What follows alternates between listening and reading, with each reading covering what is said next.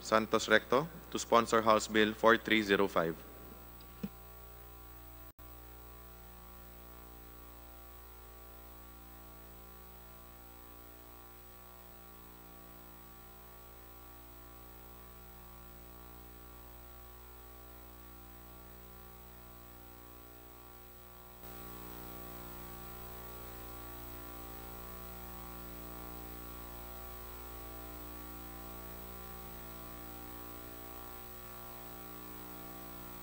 It is with deep sincerity that I thank this committee, especially Speaker Alan Peter Cayetano, and the House leadership for giving us the opportunity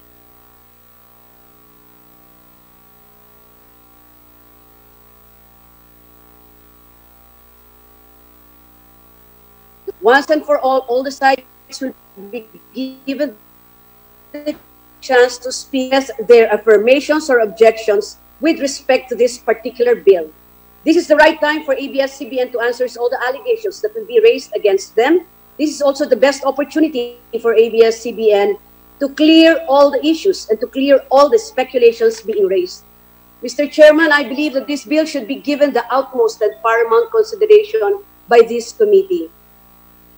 Just for the record, ABS-CBN is already an institution when it comes to television, radio broadcasting, and other areas of communication, and most especially in the field of public service. Mahabang panahon na po silang nagsaserbisyo sa paghahatid po ng balita, impormasyon at saya sa publiko. Likewise, ABS-CBN also helped in the economy in creating opportunities by giving employment to 11,000 people. Mr. Chairman, with the present situation of ABS-CBN, I am saddened that 11,000 employees will be affected and will be displaced.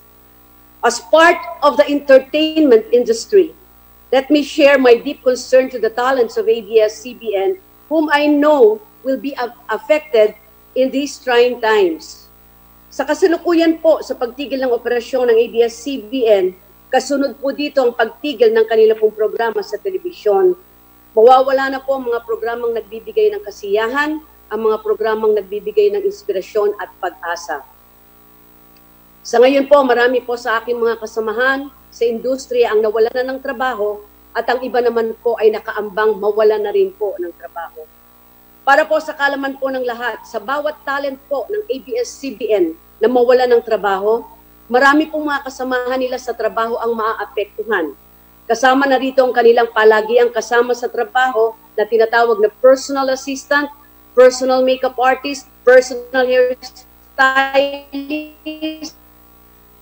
designer, kasama na rin po ang kanilang mga personal driver at personal helper na ang artista po na personal ang nagpapasweldo sa kanila.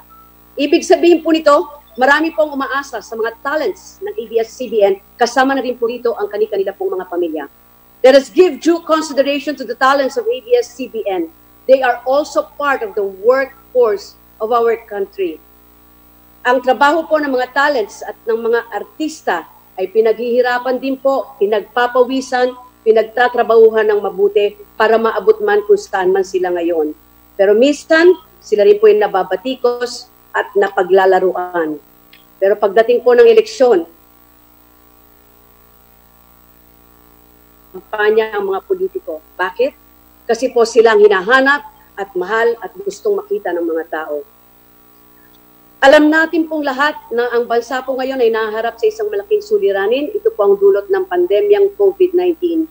Dahil sa pandemyang ito, aabot po ng 5 milyon o higit pa sa ating mga kababayan ang mawawala ng trabaho. Ako po'y naniniwala na malaki ang magagawa o maitutulong ng kongresong ito para huwag na pong madagdagan pa ang mawawala ng mga trabaho. Dahil sa pandemyang ito, marami na pong negosyo na apektuhan, nagsara. Sana naman po mabigyan ng pagkakataon ng mabalik na sa kanilang operasyon sa mas madaling panahon. Naniniwala po ako na importante pa rin ang papel na ginagampanan sa ating bansa ng ABS-CBN. Mahalaga pa rin na nandyan po ang ABS-CBN.